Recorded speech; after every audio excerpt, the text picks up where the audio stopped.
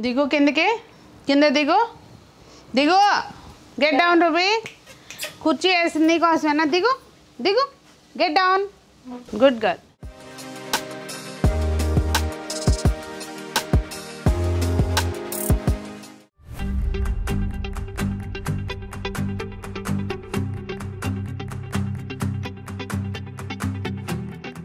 పెద్దలందరికీ నమస్తే. పిల్లలందరికీ హాయ్. ఎలా ఉన్నారండి? అందరూ బాగున్నారా? మేమైతే చాలా బాగున్నాం. మీరు కూడా చాలా చాలా బాగున్నారని అందరూ క్షేమంగా ఉన్నారని క్షేమంగా ఉండాలని ఆశిస్తున్నాను. ఈరోజు వీడియోలో మీకు ఒక మూడు రెసిపీలు చూపించబోతున్నాను. అంటే ఒకసారి మనం గబగాల వంట చేయాలి అనుకుని వెళ్ళినప్పుడు ఇంట్లో ఉన్న కూరగాయలైనా ఏ కాంబినేషన్తో ఏదో వండితే బాగుంటుంది అనేది బిజీగా ఉన్నప్పుడు ఐడియా రాదు. సింపుల్గా ఒక థాలీ అనమాట ఈరోజు రెసిపీ. ఎవరైనా గెస్ట్లు వచ్చినప్పుడు కూడా యాజ్ ఇట్ ఈజ్గా మనం ఇలా సర్వ్ చేసేయచ్చు. చాలా సూపర్ టేస్టీగా ఉండే రెసిపీస్ మూడు ఈరోజు మీకు షేర్ చేయబోతున్నాను. నేను Sunitha welcome to the Telugu housewife recipes అంటుంది సునీత ఏంటి ఇక్కడ కూర్చుంది అనుకుంటున్నారా? అసలు లోపల ఉండలేకపోతున్నాం అండి. మనకైతే మాత్రం దారుణంగా ఉంది. మరి మీ ఏరియాలో ఎలా ఉందో కానీ కామెంట్ సెక్షన్లో చెప్పండి. ఇదిగోండి ఇది సిలోన్ బచ్చలు అనమాట మనం ఇది కాడలతో పాటు వేసేసుకోవచ్చు. చాలా లేతగా ఉంటాయి కాడలు. ఇదిగోండి ఇట్లా చాలా లేతగా ఉంటే అసలు పీచ్ అనేది ఉండదు. మరీ మరీ ముదురుగా ఉన్నాయి అనుకుంటే తీసేసుకోవచ్చు. ఈ కాడలు మళ్ళీ మనం ఇట్లా పెట్టేస్తే మళ్ళీ మనకి చక్కగా పెరుగుతాయి అన్నమాట. ఒక్కటి ఎక్కడైనా దొరికితే కనుక కటింగ్స్ తప్పనిసరిగా గార్డెన్లో వేసుకోండి. ఇప్పుడు ఇది పప్పులోకి అండి కొంచెం అట్లా కాడలతోటే కలిపి త తరిగేసుకోవచ్చు. నేను కొద్దిగా ఒక చిన్న గ్లాస్ పప్పు అంటే ఒక రోజుకి ఒక పూటకి సరిపడానే చేస్తాను.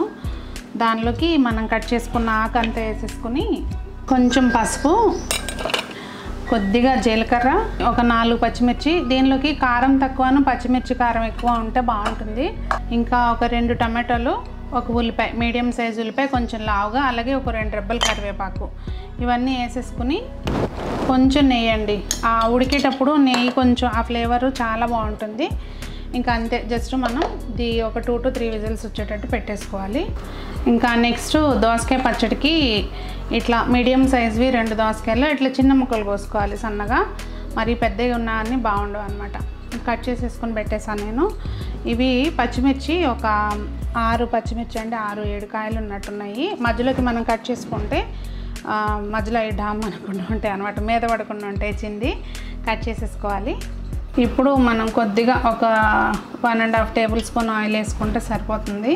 దానిలోకి కట్ చేసుకున్న పచ్చిమిర్చి వేసేసి మూత పెట్టేసి సిమ్లో కొంచెం అట్లా నెమ్మదిగా ఎగుతాయి. చుట్టూ అంతా చెందకుండా ఉంటాయి అన్నమాట.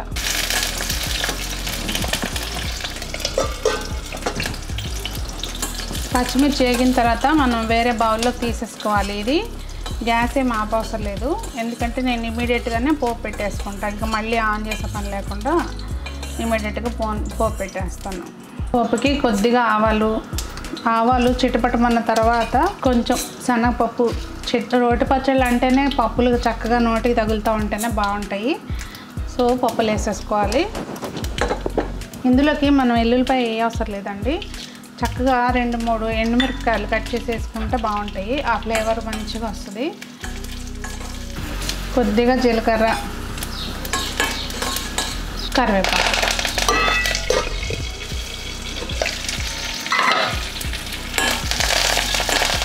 గ్యాస్ ఆఫ్ చేసేసినాక కొంచెం పసుపు. గ్యాస్ టైంకి ఆపేసుకోవాలి. లేదు అంటే మనకి ఈ పోపు మాడిపోతుంది. ఆ వేడికి మూకుడు వేడికి పోపు మాడిపోతుంది.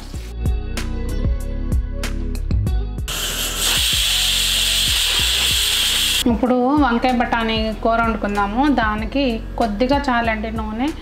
ఒక అంతే two and half tablespoon ఉంటుంది చాలంతా.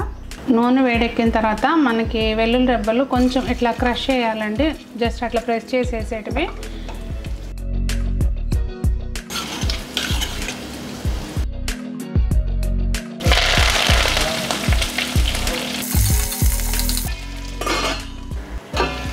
ఉల్లిపాయ ముక్కలు వేగిపోయినాయి కదా దీనిలోకి మనం కొద్దిగా పసుపు ఇది అల్లం పచ్చిమిర్చి కొంచెం ఉప్పు పసుపు వేసి పేస్ట్ కచ్చా పచ్చగా చేసి పెట్టుకుంటానండి నేను ఫ్రిడ్జ్లో. అది కొంచెం అంటే బేసిక్గా మనం అల్లం పచ్చిమిర్చి వేసుకోవాలన్నమాట కొద్దిగా.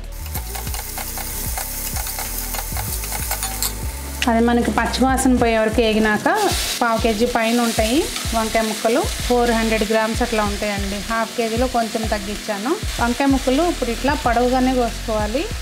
ఉల్లిపాయ కూడా నేను చూ ఇందాక పొడవుగా కోసినవి వేసాం కదా మనకి అన్నీ ఒకే టైప్లో ఉంటే బాగుంటుంది అనమాట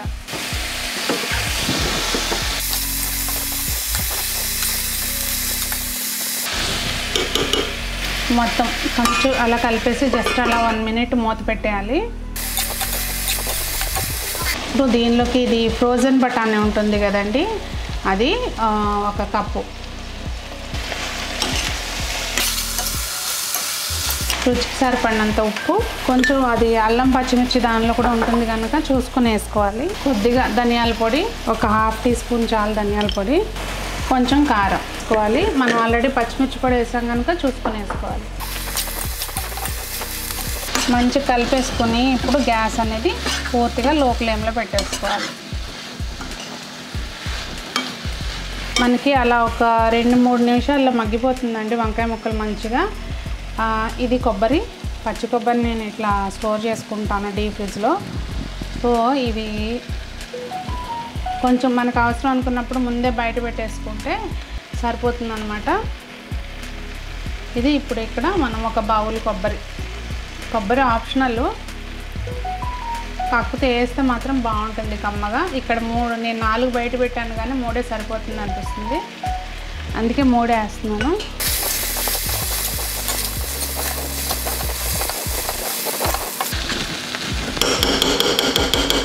ఇది ఇప్పుడు ఒక టూ టు త్రీ మినిట్స్లో మనకి అయిపోతుంది కూర. మూత పెట్టేసుకుంటే చక్కగా సన్నటి మంట మీద మంచిగా మగ్గుతుంది.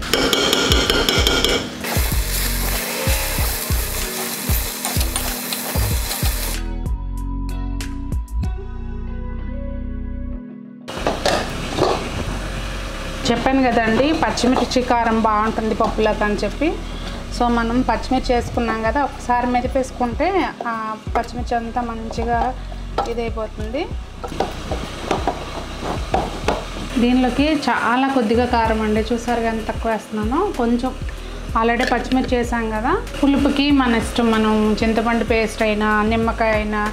ఇప్పుడు నేనైతే ఇక్కడ మామిడికాయ పౌడర్ చేసుకున్నాను. అది వేస్తున్నాను. ఆమ్చూర్ పౌడరు. ఇంట్లో చేసిందేనండి. అలాగే రుచికి సరిపడినంత ఉప్పు. జస్ట్ పోపు పెట్టేసుకుంటే పప్పు రెడీ అయిపోతుంది. పప్పు అయినా సాంబార్ అయినా పులుసులు అయినా దేనికైనా ఒక్కొక్క దానికి పోపుతోటే మనకి టేస్ట్ ఉంటుందండి. ఇక్కడ నెయ్యితోటే నేను పప్పు కానీ ఇవన్నీ చేస్తాను. ఎప్పుడు నెయ్యి కూడా వెళ్ళాలండి. మనకి డైలీ కొంత అయినా నెయ్యి తినాలి. నెయ్యి కొంచెం వేడెక్కిన తర్వాత వెల్లుల్లిపాయలు. ఇక్కడ మనం ఏం పొట్టు ఏం తినండి నేను ఇట్లాగే వేసేస్తాను. వెల్లుల్లిపాయలు లేగిన తర్వాత కొద్దిగా ఆవాలు కొంచెం జీలకర్ర ఒక రెండు ఎండుమిరపకాయలు. జస్ట్ ఒక్క చిటికెడు ఇంగువ. ఫినిషింగ్ కరివేపాకు.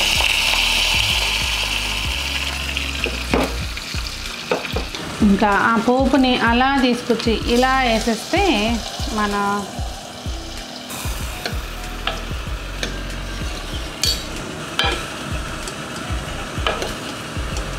దీనిలోకి మనం కొంచెం ఉప్పు కొద్దిగా జీలకర్ర ఒక రెండు మూడు ఎల్లుల రబ్బలు వేసుకొని వేయించి పెట్టుకున్నాం కదా పచ్చిమిర్చి అవన్నీ కూడా వేసేసుకుని. జస్ట్ నాకు ఇదైతే మాత్రం రోటి పచ్చడి టైప్లో వచ్చేస్తుందండి పూర్తిగా. అంటే మనకి పేస్ట్ లాగా అయిపోకుండా బాగుంటుందన్నమాట. కొద్దిగా కొబ్బరి కొబ్బరి ఆప్షనల్. మీరు వద్దనుకుంటే స్కిప్ చేయొచ్చు. చూసారా? ఎట్లా అయిపోయిందో? మన రోట్లో నూరినట్టు అవుతుంది. దోసకాయ పుల్లగా ఉన్నా కానీ మనకు కొంచెం చింతపండు వేసుకుంటే టేస్ట్ బాగుంటుంది. కొద్దిగా చింతపండు పేస్ట్ కానీ ఆమ్చూర్ పౌడర్ కానీ ఏదైనా వేసుకోవచ్చు. నేనైతే ఇక్కడ చింతపండు పేస్ట్ వేస్తున్నాను. ఇంకా అంతే అండి. చక్కగా మనం ఇవన్నీ ఇందులోకి వేసేసుకుని ముక్కలు దోసకాయ ముక్కలు పోపులోకి వేసేసుకుని ఈ ఏదైతే పచ్చిమిర్చి నోరు పెట్టుకున్నాం కదా ఇది కూడా వేసేసుకుంటే అయిపోయింది మనం పచ్చడి కూడా రెడీ.